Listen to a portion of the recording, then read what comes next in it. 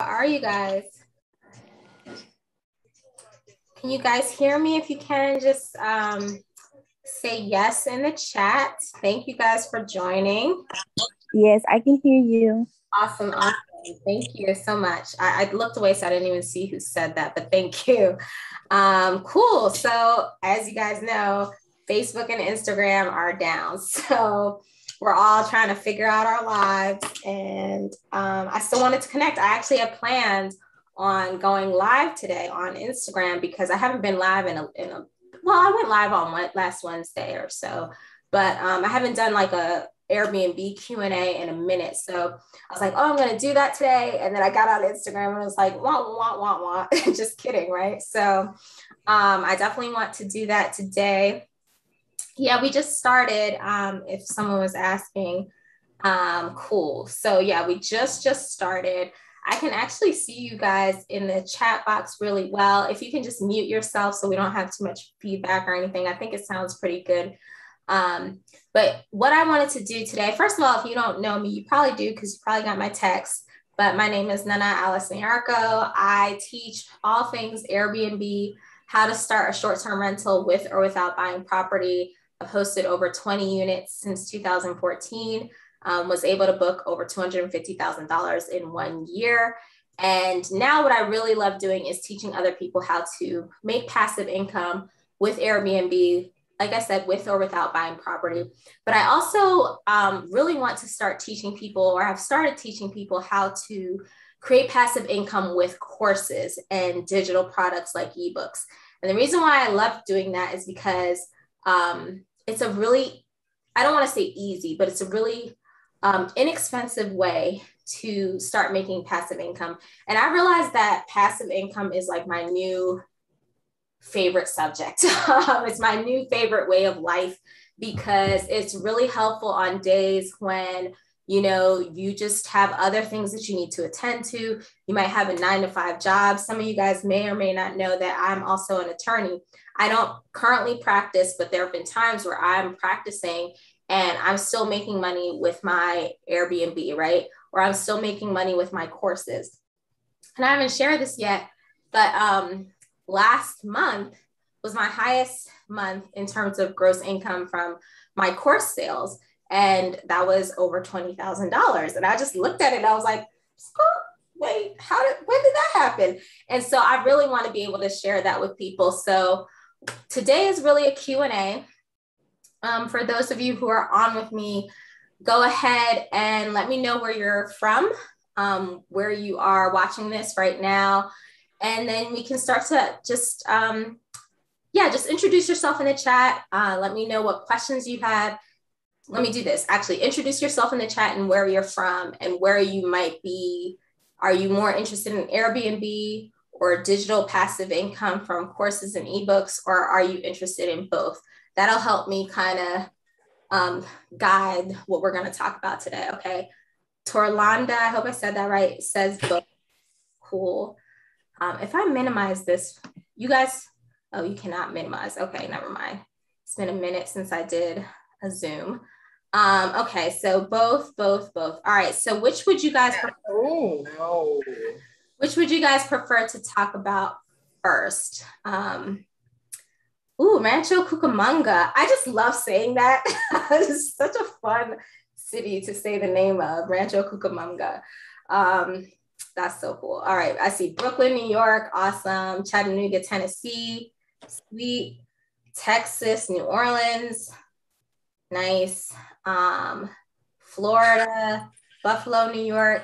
Well, let me say you guys' name. I see Jasmine, Sarah, India um, from Atlanta, Cynthia, Lance, Martin, just make sure you mute yourself. Um, I can hear somebody's feedback. I guess I could try to find you, but um, it's quite, it's a couple people on here. So if you can mute yourself, that would be great. Uh, okay. Dina, India, Sarah, Shan, Felicia, New Jersey, Tawana from North, uh, Charleston, South Carolina. Oh, another, uh, oh, okay. Amisha from Charlotte. Okay. Jen from Dayton, Ohio, um, by way of DMV. All right, yes, to DC, Maryland, Virginia, Dallas, Texas, Um, Kia, thank you. Also, DC, um, Diamonds from DC, and Tia is from Jacksonville.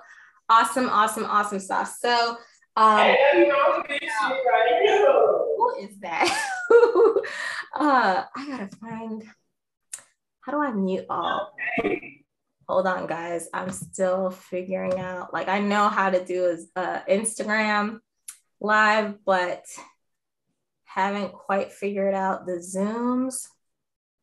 Let me see. Um, there's gotta be a way. I just want to mute everyone and I don't see how to do that.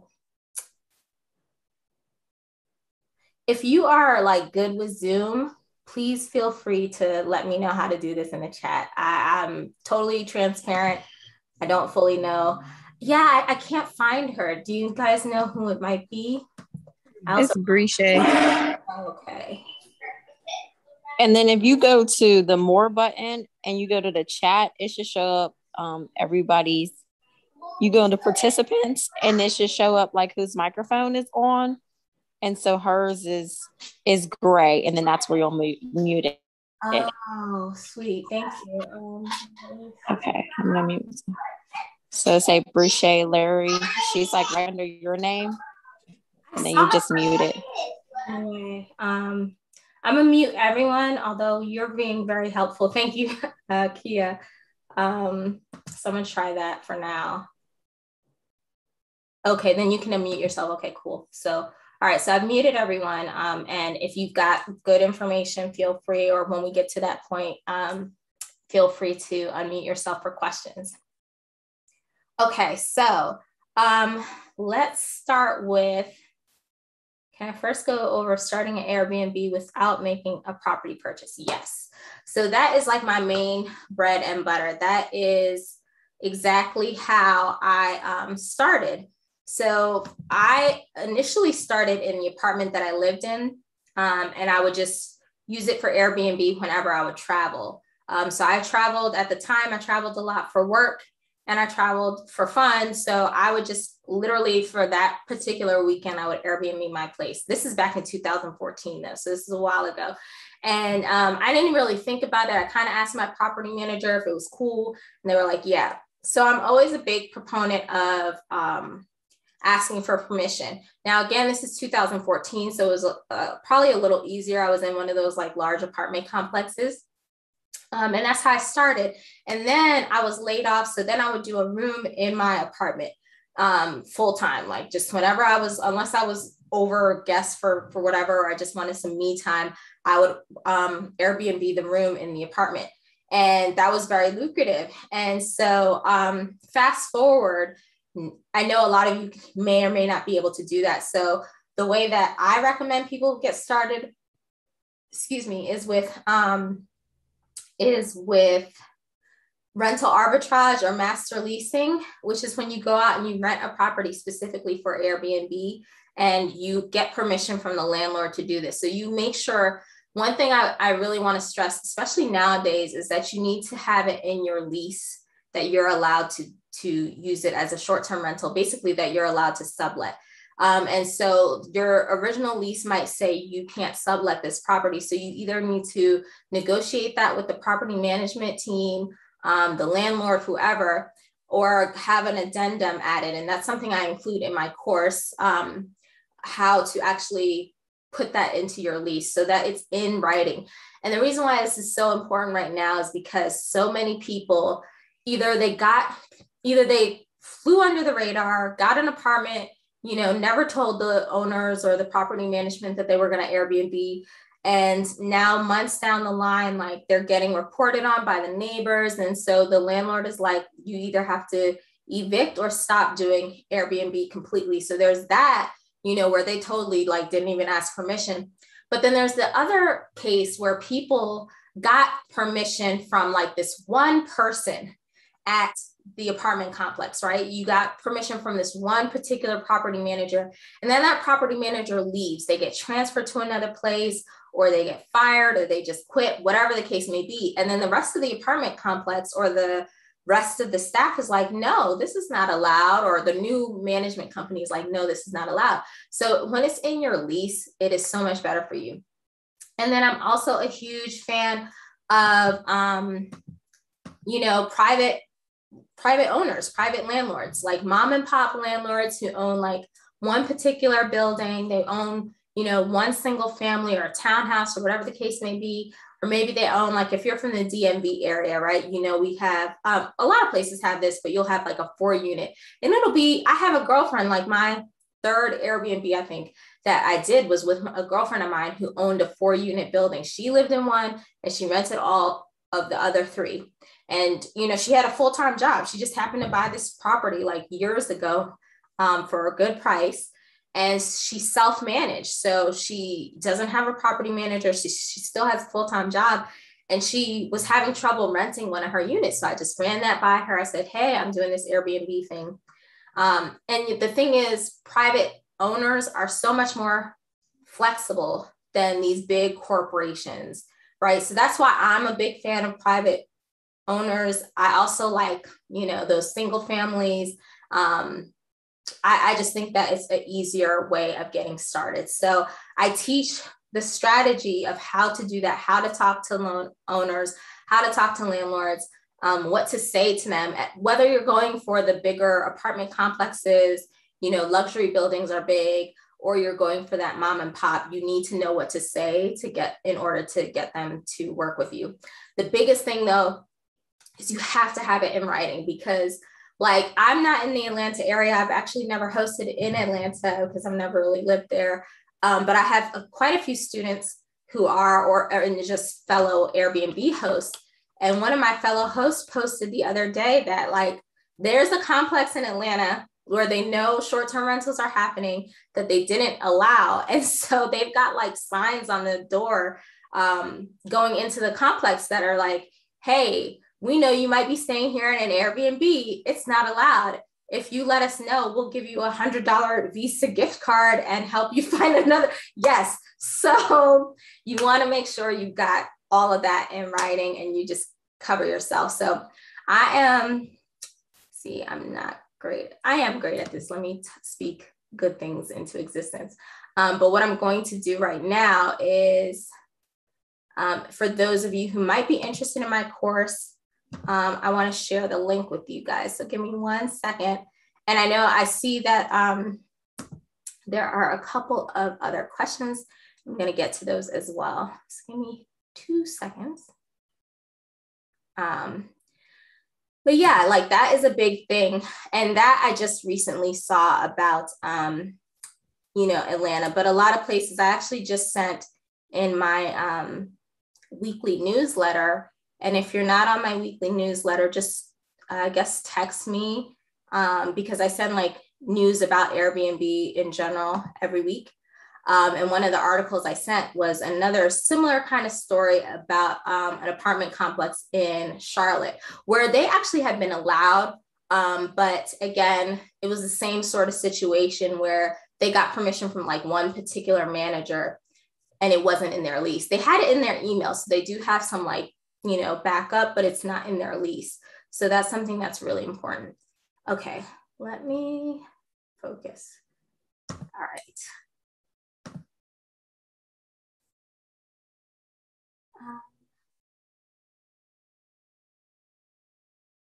Okay, so if you're interested in the course, that is the link for the course. I'll try to um, I'll try to post it a couple times, and I'm also going to share the link to my ebook um, and people often ask me what's the difference between the ebook bundle and the course. Well, the course is very, a lot more detailed. So the course is like, it's more like this, where I'm literally walking you through everything, everything I just talked about. I'm showing you like my actual documents and I'm walking you through how to do that. I'm showing you like how to call landlords and what to say.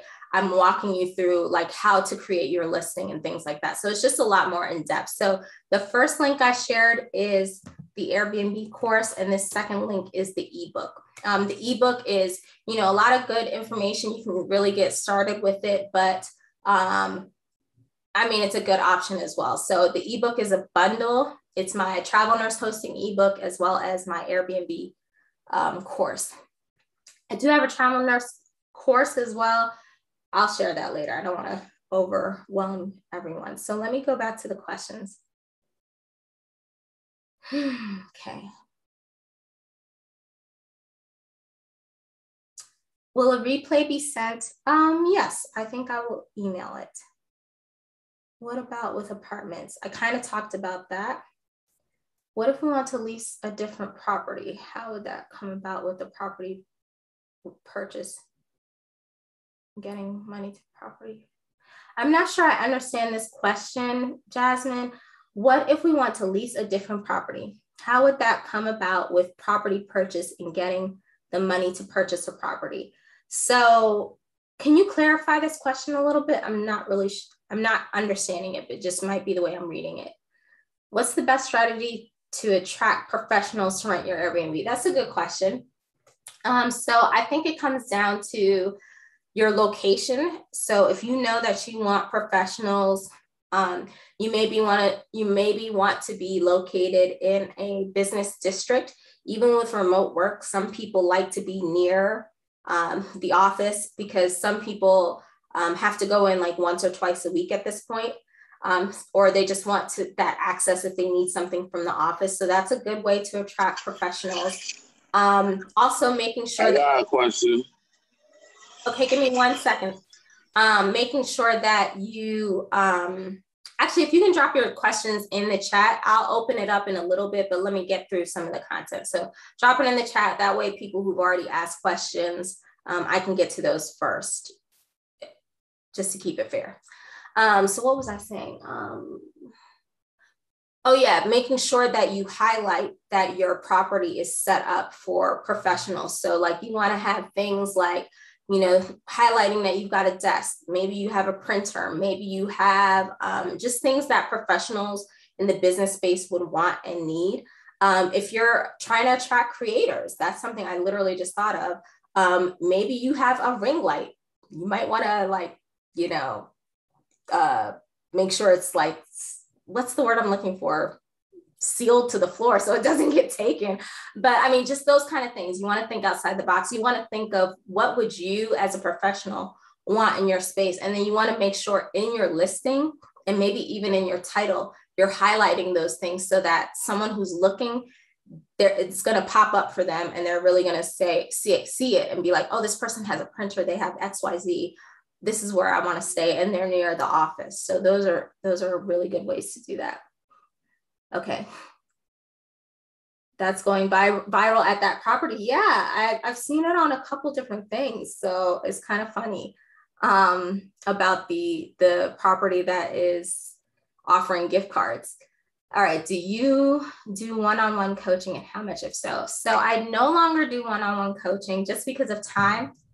So what I do is in my, if you're in my Airbnb course, I go live on Tuesdays, um, every other Tuesday for private Q&A. So private Q&A is, it's like this, it's like a Zoom like this, um, but with my students and you can ask me like specific questions. So here we're kind of doing general questions, but like if you have started contacting landlords and you're like, hey, Nana, this is what's going on. I don't, what should I do next? I can ask, answer those specific questions for you.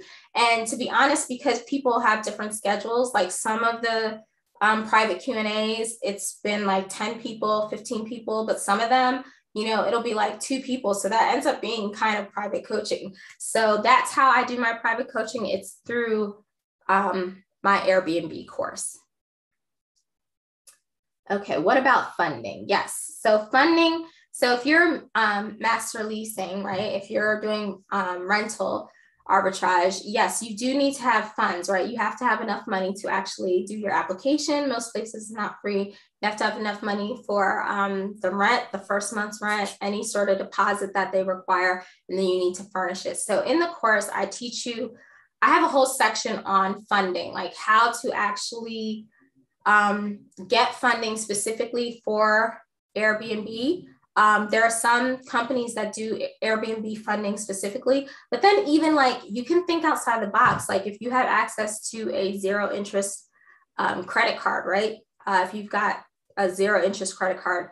I've done one of my Airbnbs that way where I just, you know, made sure that every time I got paid from Airbnb, I was paying that off so that, you know, I didn't end up with 22% interest or something crazy. But there are some really good quality cards out there. Now, if that's not an option for you, I have like a full list of um, places that you can go for funding specifically for Airbnb. Now, another thing I want to talk about though is, um, especially for those of you who either maybe you don't want to go the credit route, you don't want to do business credit, you don't want to do any of that, or maybe um, you know you just don't have access to the funds. Another way to get started is with co-hosting. So someone asked earlier, you know, how do you start without purchasing property? Co-hosting is a great way to do this. And co-hosting is when you go out and you find an owner and you host the property for them. So when I say to you guys that I hosted over 20 Airbnb units, maybe four or five of them were um, rentals and the rest were co-hosts. And that like took my business to a whole nother level because I was able to scale so much more quickly, right? I didn't want to have to put down so much money. I mean, even though renting is a bajillion times cheaper or less expensive than going out and buying a property specifically for Airbnb, it's still quite a bit of capital that you have to put out there, right? Um, even with the tips and things that I teach you, um, you know, how to furnish for less money and how to furnish possibly even for free, depending on your location and all that good stuff. Um, but with co-hosting, you pretty much have no expenses, right? Because it's the owner's property. So they're the ones who have to furnish it. Um, they're the ones who have to pay the mortgage and all that stuff. And you get paid because you get paid um, a, a fee that you and the owner agree on per booking. So let's say you and that owner agree on 20% as your fee. So every booking that comes in, you are going to make 20% of that, right? I show you how to set all that up in the in the back end of Airbnb. So like I like to get paid directly. I don't want someone else paying me. Um, so I show you how to set it up in Airbnb so that it pays you kind of automatically based on the percentage that you and the owner decide on. But you see, that is a great way to get started because you don't have rent, you don't have furniture expenses. I like um, interior design. So for a lot of my co-hosting um, partners, I would actually design it for them. And that's a whole separate fee, right? I would help them pick the furniture, set it all up, and I would charge a fee for that. If that's not your thing, don't worry about it. But um, co-hosting allows you to get started, you know, and I show you same thing, like how to go out and find people. Like I call it the village search because you'd be so surprised how many people you might know who own property that either they're not doing anything with or they're interested in the idea of Airbnb, but they don't want to be the ones to actually run it. They just want to sit back and have the money come to them. So you step in and you say, Hey, I've learned this. I understand how to do it. Um, I can run this Airbnb for you. This is what I'm thinking of as a fee. And you guys go from there. Of course, same thing, you want to have it all in writing, right? You want to make sure that, like, when if anything were to happen, you know that you guys agreed on 15%, 20%, whatever the case may be. So that's a really good way to get started because you pretty much have zero expenses unless, um, you know, I teach you how to automate a lot of things. There's a lot of great software out there to automate like the messages and things like that and automate, you know, your um, check-in and check-out instructions. So those softwares, um, they're usually either free up to a certain number of listings or it'll be like either a very small like monthly fee or some of them might charge you an additional percentage of the bookings. But aside from that and you can choose like i give you options of which which ones are which. So you know based on your income and how much you want to spend you can choose to do that or you can choose to just use airbnb and only um, and do, you know, use the templates and tools and things like that that I show you um, until you get to a point where you want to incorporate additional things. So co-hosting is great. And like I said, co-hosting got me access to properties that would have taken me a lot longer if I had tried to do them on my own. What I mean by that is I hosted um, two super nice luxury five and six bedroom houses right? One, both actually, both of them had rooftop decks, full views of the city. like really, really nice. I personally was not in a position to either buy, I mean, both of them were over a million dollars. Um, you know, I was not in a position to buy those properties. I was not in a position to even rent those properties. And I was not in a position to fully furnish those properties. It's a lot of furniture. So it helped me to be able to do that. Um, so I love, I really love co-hosting. I really think it's a great way for people to get started. And not enough, in my opinion, not enough people talk about it. Everyone's all about rental arbitrage. Um, and I get it because there are pros and cons. With co-hosting, you have to remember you are still working with slash for someone else because it is their property, right? Um, with master leasing, you're working basically for yourself. The only thing is you've got this landlord, but you just pay them their money every month, and you know usually they're not going to bother you. So um, that's just something to keep in mind. Can you please text me the link? I will text. Um, if you're on my uh, text list, I will text the link to the course after this? That's a good question. Thank you, Dina, Deanna, Deanna. Um, I want to cater to travel and medical Airbnb VRBO. Um, I'm not clear on how to advertise on multiple platforms, how that works. Will they overlap or book on top of each other? Please explain. Cool. That's a really good question. So let me actually drink this water instead of just holding it. topic. Okay. I love travel nurses. Um, if you follow me on Instagram, hopefully it'll be back up. I don't know, but um, I love travel nurses. I love hosting travel nurses. Honestly, for me, when the pandemic hit last year, like in the really beginning of the pandemic, that saved my business because I had a lot of international travelers um, before that, or just like people traveling to um, most of my Airbnbs were in the DMV area, DC, Maryland, Virginia. So I had a lot of business travelers. I had a lot of um, students because that area is full of colleges and universities, all those shut down. I had a lot of um, government travelers, interns.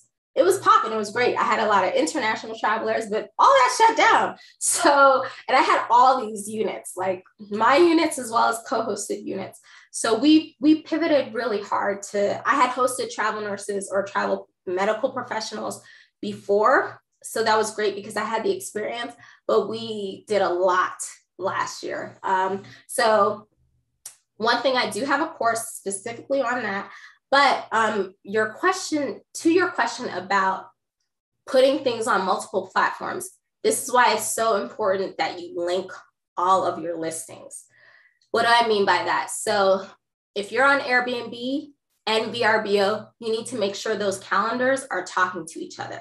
So this is what goes back to the software and tech tool stack that I that I include for you guys in the course because that is the worst it's one of the worst things that can happen when you're in this business is getting double bookings. And double bookings is when those calendars were not talking to each other. So you got a booking on Airbnb for the first through the eighth, and you got a booking on VRBO from the fifth through the ninth. Those are overlapping. You only have one property, right? So that's that's not good. Both Airbnb and VRBO will be very upset with you. um, you know, if you have multiple units, you have some wiggle room. If you've got a vacant property, you kind of can move people around if that ever were to happen, but it's not something you want to do. So basically, you want to make sure your, your calendars are linked and synced. Um, there are, you can do it in the back end of VRBO and Airbnb, but there are some softwares, tools that do it even better.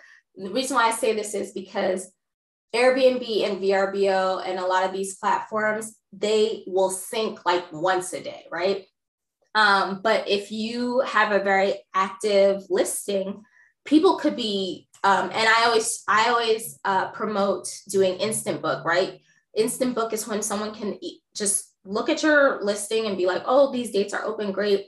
They meet all of your verif- verification requirements. So you put in your listing like what, what you require. If they meet those requirements, they can instantly book without having to talk. Oh, great without having to talk back and forth with you, right? If you don't have instant book on, you actually have to physically approve this person who's requesting to book you. A lot of people don't like that.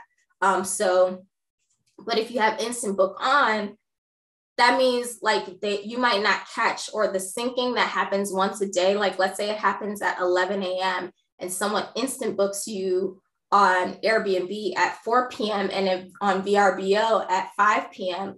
They didn't sync. So you end up getting that double booking. So there's other software out there that does it a little bit better. You don't have to use it because unless you're like your listing is on and popping, um, that probably won't happen, but it's just something to think about once you get to the point where you're really getting a lot of bookings. Um, so that's really how you do it. You really want to make sure your softwares are talking to each other. And then if you, um, I teach you how to get direct bookings as well, especially with travel nurses, um, because some of them book on Airbnb and VRBO, but some of them book outside of that.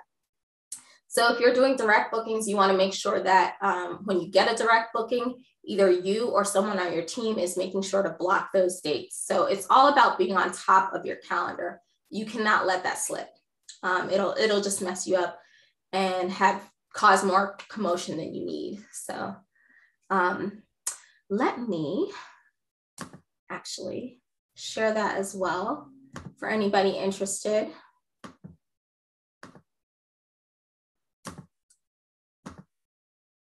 Guys, I need an assistant, um, but they have to be like real cool. So if you know somebody, so that's the travel nurse um, link, and I'll I'll send everything by um, text as well. Okay, let me go back to the questions.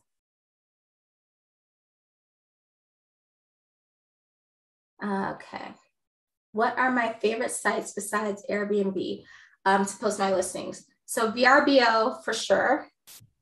I really like VRBO for groups, um, especially if you've got like a, a, bigger unit. I like that for groups. Um, even now, people are still traveling internationally. So I like it for international travelers. Um, families like to use VRBO, and VRBO is, is older than Airbnb because VRBO, which stands for Vacation Rental by Owner, was bought by uh, or merged with HomeAway. HomeAway has been around for years, so a lot of older travelers are more familiar with it. Um, so they're used to booking on there and they still book on there, right? Um, Airbnb is only 10 years old or so. Um, so I, I like VRBO a lot. And then booking.com, a lot of people don't realize that you can list your own property on booking.com as well. The only thing with booking.com, it's not as, in my opinion, user friendly um, but I've gotten good bookings on there. Like you just have to learn, you know, each system. So I always, I always recommend starting with Airbnb because one of the reasons why they're so popular is um, that they are a lot more user friendly than some of these other platforms. But VRBO is a good one. Booking.com is a good one. You can even do Expedia or TripAdvisor. I just say like learn and know fully one system before you add another because every time you add another that's just a little bit more um, um, organization that you have to be on top of like we just talked about with syncing your calendars and things like that. But it's it's great to do. It's great to be on multiple platforms so that you can get just more people looking at your at your listing at a time. What is the process what is the process of co-hosting? Okay, so we kind of talked about that, I think. Um, if you already have an Airbnb, what are the best strategies to get more bookings? I say get my course, um, but honestly, no. Um, no, not no, but yeah, get my course. But also, um, I would say one, I probably have to look at your listing, um, but I would take a look at your competition. Take a look at the top ranked um, listings in your particular area and see what they're doing. Like, how are your photos? Are your photos in good quality? Is it good lighting? Um, what does your title say? Is your title super generic? Or does it really speak to someone saying, hey, um, excellent three bedroom, gorgeous property, you know, something that's really going to catch somebody's eye. Um, five minutes to the downtown metro or whatever the case may be like you want to highlight you don't want to just be you know, generic Jenny um, on Airbnb. You want to highlight your features because you got to remember it's just like social media. There's so many competitors out there. Um, you want your listing to stand out. I'd say the biggest thing a lot of times is pictures. Your listing, your listing description, like it shouldn't be so short that it doesn't really give somebody information. You want to provide enough information so someone can really make an informed decision on whether or not they they want to stay there. And um, what else would I say? Also, don't let your listing be stale. So sometimes people will list their property on Airbnb one time and never touch it again. You can't do that. Like you, it's just like it's just like anything else on the internet. You have to kind of every now and then um, update it. So Airbnb knows that you're an active host. Um, and then another thing I would say is how quickly are you responding to uh, messages? That's a big thing too. Like if if Airbnb sees that you're not an active host and you're not taking it seriously, you're taking like days at a time to respond to guests. Um, they're not going to rank you as high because they you're, you're you're not really hosting the way they they want you to. So that's those are some things to think about. As a new business, let's say we have our paydex score, one to see three to six times the rent. What is a way to go about this when getting the first unit? I hear people to say put money in the business bank account. But even if I had six times the rent, there would be, would that be enough? Or is it, or is it activity on the account of money coming in that they want to see? that is a more complicated question. Um, I can't really answer this because it's going to depend on the apartment complex. So what he's asking about is like, you know, they want to, some of these apartment complexes want to see six times the amount of rent um, that you have as income or available to you in your bank balance. Um, I don't know what they like on their end. Every apartment complex is going to run it differently. So if you have the ability to put that much in your account, I think that's not a bad idea. Um, if you have the ability to improve your business credit, I think that's not a bad idea. Um, so yeah, that's the best way I think I can answer that. Do you need a license in DC or Maryland to Airbnb? Um, so in Maryland, it's going to depend on the county. Like Prince George's County, you do need a license. Um, and I just know this because I've hosted in those cities, like off the top of my head, I mean. Um, certain counties they have really strict restrictions so you might have to do like more so cater to travel nurses for more than 30 days dc dc last i checked um, is a toss up they say they require one um, but there's like no enforcement and no way of getting one so um, i always recommend this is not legal advice this is not business advice um, but i always recommend getting a property um, leasing license like a rental license um, and a business license because the short-term rental license, when I last checked, there was like no actual way of getting it. So you just want to protect yourself as much as possible. Um, and again, this is not legal advice. Okay. Can you rent out one of your rooms? Absolutely. That is that is how I started. Um, uh, you may not have been here in the beginning, but that is how I started with Airbnb. I rented a room in my apartment. Well, first I rented the whole apartment when I was out of town because I just I don't know. I didn't care. I just wanted the money. Um, and then I rented a room in my apartment um, whenever I was up to it, uh, really, because I was laid off. I wanted to cover my expenses. So, absolutely. I know people who, um, I have a friend in, in uh, the DC metro area, and she rents out her basement every single day, like as, as many times as she can get a booking. Um, and it's just a room in her basement. It's not like a, a, a huge basement or anything like that. So, absolutely.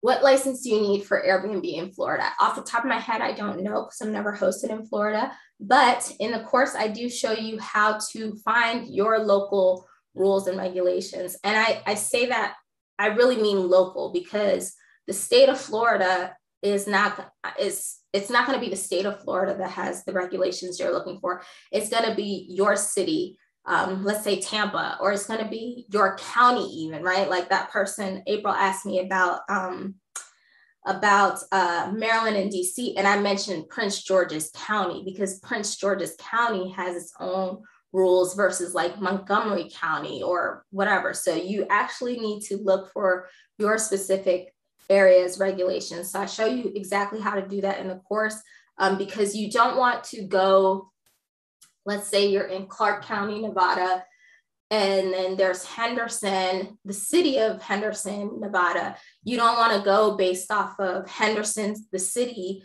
when Clark County has its own separate regulations. It's kind of crazy. So you really like, because Henderson is technically part of Clark County, but the city of Henderson has decided to allow short term rentals with a license that you have to pay an annual fee. But the county, Clark County, they're not allowed. So you have to like really narrow down to your specific specific area.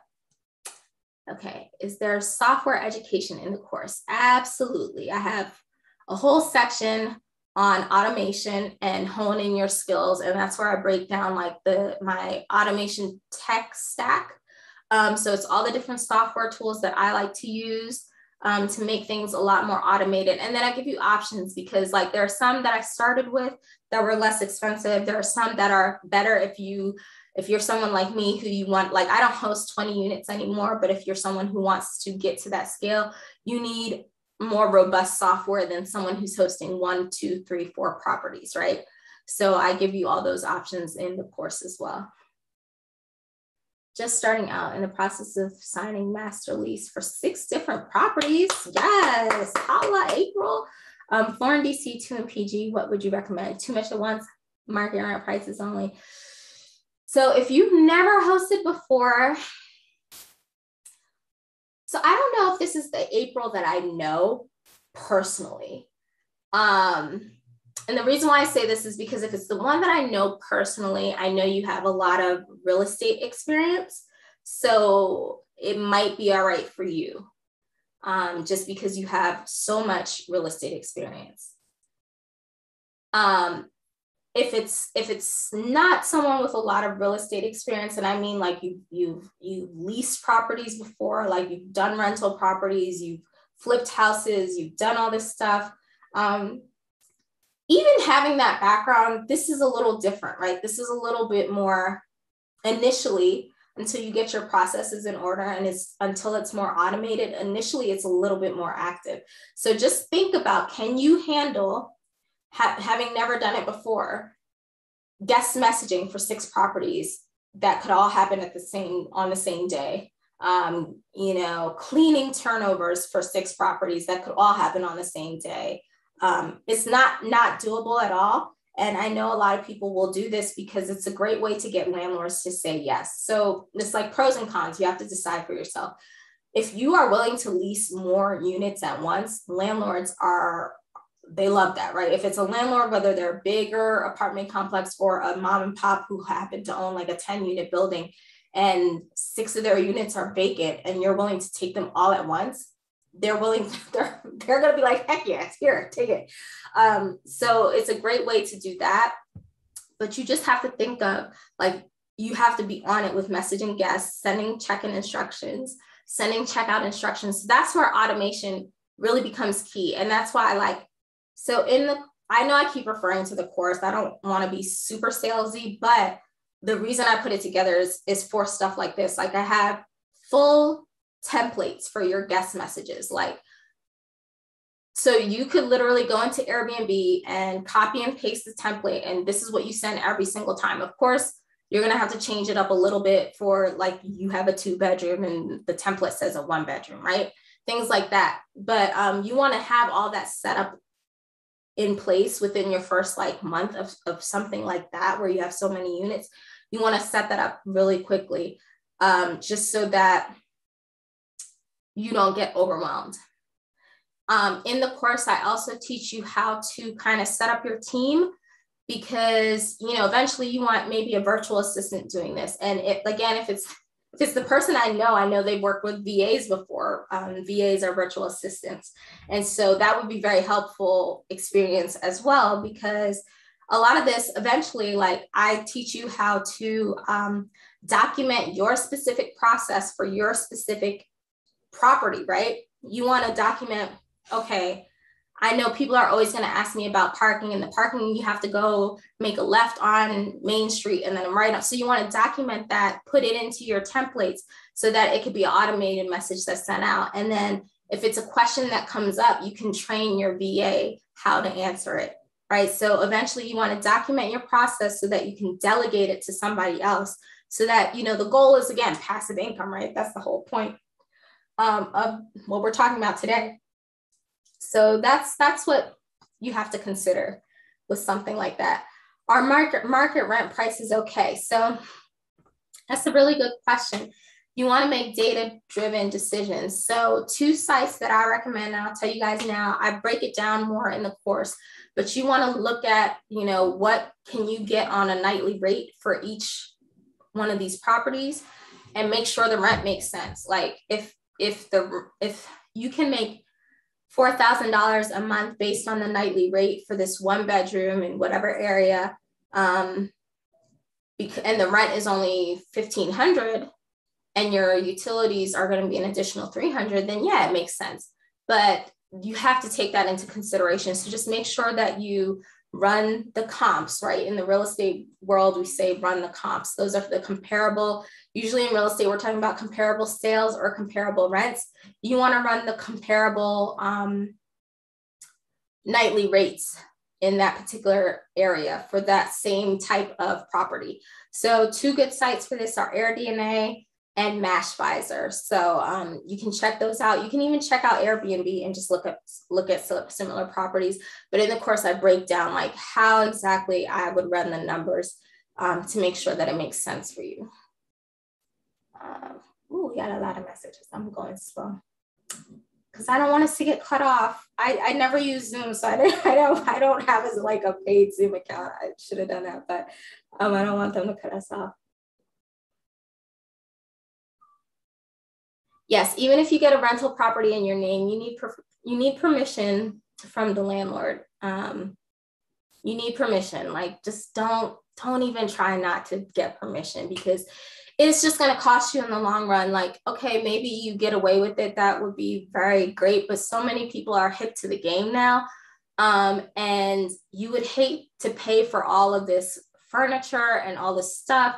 And then you have to break the lease early and you have to pay like you know, two months rent on top of like, it's just, it's not worth it. Just get permission. Um, if you can't get permission, go somewhere else or co-host. You co-host, it's the owner's property, you know? So, um,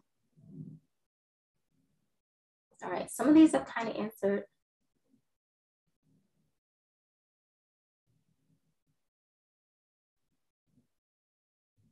Would you need to take my course um, if you already have started an Airbnb?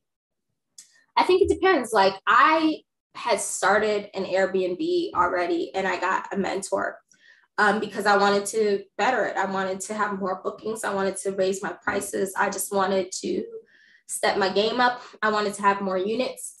Um, so I got a mentor. Um, I think like I teach about courses and I teach about ebooks and I made great money with courses and ebooks, but I still have a course and ebook mentor. So um, I think if you're, if you, I'm a big fan of always improving your skills. Um, so yeah, that's what I would say on that. Um, do I find three and four bedrooms homes easy to rent to groups?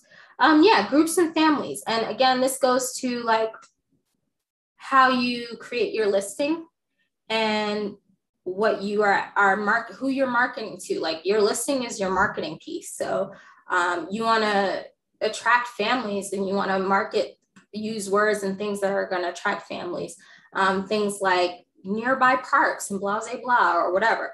Um, so all of that is really good. So yeah the only thing with three and four bedrooms is you have to implement certain things to make sure that you avoid parties um, because people like to party. How do I get approved for corporate leasing? We talked about that a bit. Appro- appropriate percentage for co-hosting. I have seen and done anywhere from 15 to 30%. Um, and it just depends on what you're offering, um, how much work you're going to be doing. And then um, like with the luxury ones, I did a little higher too because I was kind of I was just offering more work. Um, but you know, it's a negotiation between you and that owner. Okay.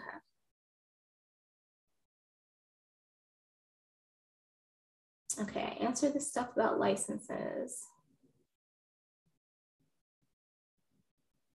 Would it be best to have your Airbnb so Airbnb as a LLC or just an individual, you can start either way. I, I always recommend eventually getting an LLC so you have that. The point of an LLC is for a little bit limited liability, right? So it's to protect you, protect any assets that you have. Um, it's just it's just a good idea. It's not a must. You don't have to. Um, but you know, eventually, like I started, like I said, I started in my own apartment, so I wasn't even thinking about all that. Like I just started, um, and I think you don't want to be held back. Um, but it's a really good thing to do. It's really great to be able to sign your leases in your LLC's name. I teach you how to set up an LLC just in case you may not have know how to do that um, in the course as well. Hey, April. When do you get to what? When do I go live on Zoom? I think that question is. Um, this is the first time, aside from my private um, my private group that I'm really going live. And it's because Facebook and Instagram are down, but maybe I'll do it more often. Um, okay, yes.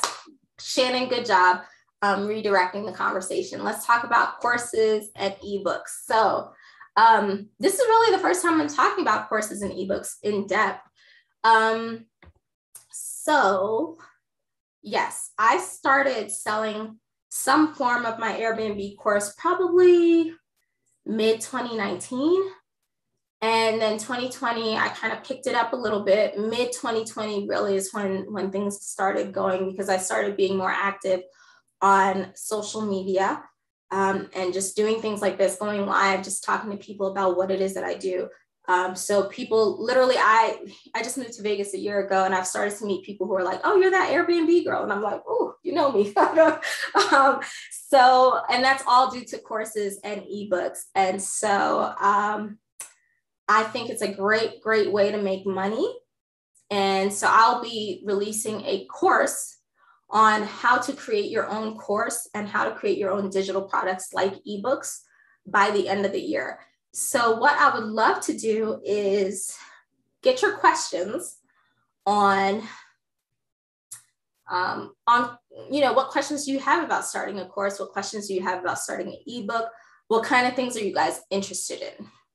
All right. So i'm gonna kind of oh yes shannon yes um, to answer your question i am a course and ebook mentor so i'm open to it. Yes that's my next thing. Um, Okay, so I'm gonna kind of just focus on the course questions now. Um, will the course be the same price? I'm not sure what the course price will be just yet. Um, it's definitely going to be like I'm going to do a founder's price, meaning like the people who either pre-order or like the first 100 people to sign up or something like that um, will get like a reduced price, right? You'll get the intro price. Um, I don't know how much it's going to be right now, but I will definitely share that with you guys. And I'm going to, I'm going to go live more often so I can get good feedback and get questions from you guys about what you're interested in. So I think that will help inform the price of the course. The way that I want the course to be set up is I want to teach you how to, you know, initially, so it's almost like the way that I sell my products, if you've been around for a while, you probably noticed, I always offer something free first. A lot of people call this like a lead magnet, right? It's a great way um, to collect people's contact information so you can stay in touch with them. For instance, this is a great, um, this proves my point so well. I was able to tech, um, text you guys and email you that I was going to go live today because I have been collecting your information and not just relying on Instagram, right? Or, or Facebook. So even though I'm using Facebook and Instagram, um, I'm often saying, hey, um, check out my free Airbnb guide or check out my free uh, Airbnb class. So this is free content that I'm giving away to people. Um, one, because I want to give them this information, right? That's the whole point of me creating it. But two, you want to own your own database. Um, and I wish I was even better at this because God forbid, like something happens for real, for real with Facebook and Instagram. Um, I have to kind of build on another platform, but I still have my database, my text message list, and my Facebook, um, my email list, and those are mine, right? It's not only housed with Mark Zuckerberg on Facebook and Instagram. I have, I own these, I have access to them. Um, they're not going anywhere, right? Unless the internet just like explodes. um, so creating free content is a really good way to initially one find out if people are even interested in the topic that you have and two um, you know collect people's information. And it's a great way like even before for instance my course i'm still working on it right? It's not ready. But i have a um, a free guide that i i just kind of started talking about recently um, three ways to start your own course right?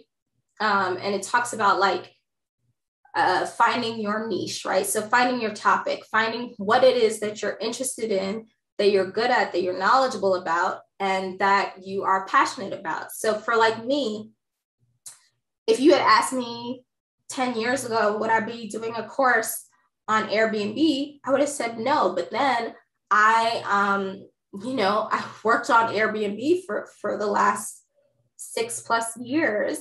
And so I'm very knowledgeable about it just by my my experience, right? So you can think of that or you can think of something you're really good at. There are people who have courses on baking, right? There are people who have courses on how to, I don't know, distill water and have a clean, healthy lifestyle or so. I mean, you can have a course on anything because people love knowledge, right? It doesn't have to be this huge business thing, um, or it can be. It's all about your experience, your knowledge. And then I want to talk about imposter syndrome because I remember there was a period where I was like, man, I've only hosted XYZ number of Airbnbs and I don't even have as many as I used to. And this this guru has like 2000 or something crazy like that. The thing is, you can teach someone if you are just a few steps ahead of them. You don't have to be perfect, right? And you can price yourself accordingly although a lot of times we underprice ourselves. I've had a lot of people tell me i'm not gonna i know you guys don't think that but a lot of people have been like your course is too cheap. Like it's it feels good to me to price it that way. But um you know imposter syndrome is something you need to to get over right? Like if you know five if you're five steps ahead of a lot of people that you want to teach you are more than qualified to teach that topic or subject. It doesn't have to be five steps. I'm just using that as an example. Um, so that's something you can start thinking of. Like, what are you interested in? What are you knowledgeable about? And then what are you willing to talk about for some time? Um, because I have been talking about Airbnb for a long time. I mean, it's part of, I, I love it. I think it's a great business model. I'm excited to be talking about courses and digital products um, because I've been talking about Airbnb for over half a decade. So you have to pick something that either you're willing to talk about quite a lot, uh, um, or you're willing to, we'll get more into that. But like the beautiful thing is, I can stop talking about my Airbnb course, put ads into it, like proper actual advertising, never have to talk about it again, and I would still get sales. That's the beauty of creating these digital products. Um, I know this uh, course creator, she unfortunately passed away uh, about a year ago. And um, her brother runs her page, and she created a lot of digital products. I mean, a lot. And it's a legacy for her family because she's not here to talk about it today, but it's still making sales, um, you know, with ads and all that. So I just say that to say, um, you can really create something that's sustainable. It, it takes work uh, initially. You know, I always say passive income comes after active work, right? So you put in the work up front you go hard up front you you learn to build the course itself you learn to build the uh, marketing and all that and then you are able to put it on autopilot um, so yeah what questions do you guys have about courses how often or long is the course so the course is not finished yet um, but um, it'll be kind of the same similar format where it'll be pre-recorded and then I will probably have some like a live coaching piece in there, maybe once a week or something like that. Excuse me. And um, I don't, so the, the course in terms of length, a part of me doesn't want to make it too long because a lot of times people get overwhelmed and don't finish courses if they're too long. But then a part of me wants to like throw the entire kitchen sink at you guys. Like, I want to give you all the information. So here's the thing there's like building your email lists, right? How to do that. And then there is the piece on how to actually like structure your course, organize it, put it together, and how to record it.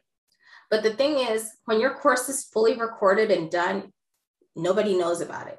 So then there's a whole piece on how to market your course um, organically, which means you don't have to necessarily pay for it. It's more about the work and then how to market your course with paid ways, right? That's a lot of information to put into one course. So I'm thinking of the first two pieces I'll probably put together as one course, and maybe that third piece on marketing might be a separate course. I would love your feedback. I'm open to it. Would you rather that be in one big behemoth course? Remember, if it's a big behemoth course, it's going to have big behemoth price tag. um, or I could separate it, right? Um, so you guys can give me your feedback. Let me know. Would I be able to do some type of payment plan for the course? Yes, I always offer a payment plan because I have been there and I'm still there sometimes. Some of these, I love courses. Like I said, I have mentors, and some of these courses, you guys, I'm telling you, my courses are cheap. Like some of these courses, like $2,000, $5,000, $6,000. So I'm all for a payment plan because I'm not trying to drop all that all the time. Um, so I would probably do a payment plan of some kind, like four payments. And then I would probably do same thing with um, PayPal Pay Later, which allows you to get full access to my programs um, without having to pay upfront. So you you have no payments and no interest for six months, um, and you get full access to the program. But you have to if you if you decide with any of my courses, right? So if you go to my Airbnb course right now, you can do that. You don't have to pay anything upfront. If you use PayPal Pay Later, which is PayPal Credit, Make sure you select PayPal credit and not regular PayPal because they will charge you if you they'll charge whatever account you have associated with your PayPal account if you choose regular PayPal. So um, and then people email me and I'm like, I make it so clear. um, but um, yeah, you can you can use PayPal credit, PayPal pay later, and you would get full access to the course um, without any payments um, upfront for six months oh, PayPal denial. I don't know. um, I make it available. I, I don't get to make the decisions, unfortunately, on who PayPal allows and who they don't. So, um, but the payment plan option is always there um, for you. So I will do that with the new course as well. Oh, someone said, when is it gonna, when is it gonna um, be available? That's that's work I gotta do. Um, maybe around November. Oh, that's next month. November, December. My birthday is in November. It's a milestone birthday. So um, we'll see. I mean, that would be really great. I think it would be good for people to start working on stuff like that before the beginning of the new year. So you you've inspired me with that question. I'll get to work. Um, maybe separate classes since not everyone needs yeah or wants the same information exactly that's a good idea um, and that's a good point merlane so that's kind of why i separated the airbnb course and the travel nurse hosting course because not everyone needs or wants both i have a lot of travel nurse people who take the travel nurse course who already have Airbnbs. They're like, girl, I know how to do that already. I just want the travel nurse piece. And then I have some people who are like, I want both. I want to start an Airbnb, but I know I want travel nurses. So I I make it so that you can add, I think, to your purchase either one when you're buying one or the other, if that makes sense. So Oh, November 17th, I'm November 20th. Yes to the Scorpios. Woo, woo. All right. Um, okay, guys, I don't see that many more questions. Um, I I don't mind doing if one person wants to come off, uh, I'm a little nervous. I never know what people are gonna say when they come off mute. Um, but if someone has a really good question, you know whether or not your question is good, um, and you want to come off mute, feel free. um, uh, if not, um, um, I'm gonna be done. Does my travel nurse course cover everything for Airbnb? So no, that's why they're separate. Um, my travel nurse course, actually, let me let me share all these links again, just so you guys don't have to scroll. Um, I'll share the travel nurse course first. The travel nurse course really just focuses on how to find um, book and successfully host travel nurses. So I'm walking you through like how to market to them, how to find them, how to cater to them, like how to set up, you know, your listing description in a way that is going to attract them. Oh, I didn't mean to send, I meant to send that link to everyone. Hold on. Um, I give you like the list of websites where you can find them. And then I, on the back end, I show you how to successfully host them, like how to screen them, how to make sure you're protecting yourself um, legally and all that good stuff. So the Airbnb course is focused on really setting up your Airbnb business from A to Z. So some people get both, some people just need one. Um, you can always add on um, whenever you're purchasing. Okay, so that was the travel nurse Oh no, I just shared the B&B from scratch. I just shared the Airbnb course link. And then this is, I should probably label this better. See, this is why I need an assistant, guys. Of course. It's so hard for me to type right now. Why am I, I'm tripping, hold on. It's really hard for me to type right now because my nails are ridiculously long right now. I'm really overdue for getting my nails done and I just keep putting it off every day. But I don't know if any of you have ever seen the meme of Peter Griffin when he's like typing like this. That's how I'm typing right now. it's not good. With the long nails. Yes. it's really not good. Um, but I don't know if it hits like four o'clock and I haven't left the house. I'm like, I'm good. Um, I'm kind of a homebody. All right, ebook bundle.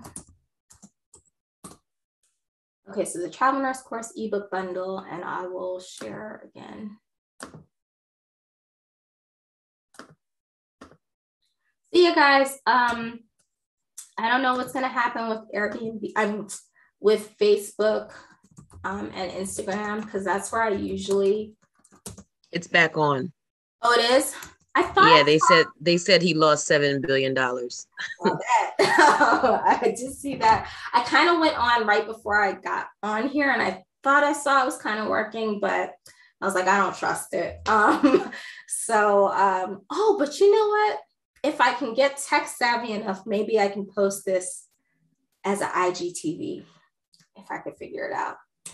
So, hey guys, if you know someone who um, is interested in being a virtual assistant um, and has reasonable prices, because I'm still a startup entrepreneur, um, you know, just maybe like five hours a week, I wouldn't mind help with stuff like this. Like you guys can see, I'm struggle busing here with um, with uh, technology sometimes. So, but yes. Oh, the last thing I'll say is the way that I'm designing the course is um, to show you, kind of like in my Airbnb course, to show you like how to set up the technology for a lot of this stuff. Even though I just said I'm not very tech savvy, one thing I did do is learn how to build you know the sales pages the lead magnet like how to collect people's information their emails and their phone numbers and how to set up your email lists and how to set up your um, text marketing and things like that. Um, but even your sales pages, like all that is going to help you actually sell your course a lot better. But aside from the selling part, because that is kind of more on the back end, how to like what platforms to actually choose to set up your actual course itself. Like, where do you want to host your content? You know, that is a big thing because that is, you know, when people sign up for your course, that's what they're going to see. They're going to just even based on how your course looks is going to give them a perception of the value of what they've just paid for. um, and that sales page before they get to the course is going to give them a perception of the value of what they're about to pay for. So I'm breaking all that down for you as well. I'm so glad you guys are interested in this. And oh, no, you guys are interested in VA stuff. Oh, where do you send your resume? You know what? Why don't I tell you? You can send it to support at Nana Alice Nyarko. I'm gonna I'm gonna add it because I know my name is long. Dot com support at Nana Alice Nyarko dot com. I gotta make sure I spell my own name right. I did. Okay. So yeah, that's where you can message me. Um, and yeah, thank you guys. Thank you all so much for your awesome questions. Um, hopefully you found this helpful. If you have any questions, um, now that Instagram and stuff is back up, you can DM me. You can also email questions to that same email address, support at nanaalicenyarko.com. And if you're in my course already, we do have our private Q&A tomorrow. If you're joining the course today, you can get on the private Q&A. It's to be at 10 a.m. Pacific, which is 1 p.m. Eastern. Um, you know, I have to do my little count. And yeah, that will be like you can ask me super specific questions um, about your situation. And um, sometimes, if people have listings already, like the person who asked me, you know, what to do about how can I get better, more, more bookings for my listing. Like if you're in in the group, you can send me your listing and we can go through it together during that live q&a like i could be like oh you need to switch this around this around xyz oh put your insta see this is the stuff a good a good assistant would do. Put your instagram in here. You smart. You right takis. Um, it's nana alice Nyarko, but let me get the link let me find the link